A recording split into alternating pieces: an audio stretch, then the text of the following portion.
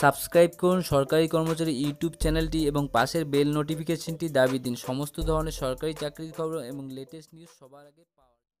তো দর্শকবৃন্দরা, আপনারা এতদিনে বাংলা শিক্ষার যে অফিসিয়াল ওয়েবসাইট সেখান থেকে স্কুলের যাবতীয় কাজ মোটামুটিভাবে রপ্ত করেছেন। তো বন্ধুরা, এবার এখান থেকে আমরা কীভাবে খুব সহজে স্টুডেন্টদের জন্য আইডেন্টি কার্ড ডাউনলোড করব সেই বিষয়ে। তার জন্য লগ ইন করতে হবে হোম পেজটি আসার পর।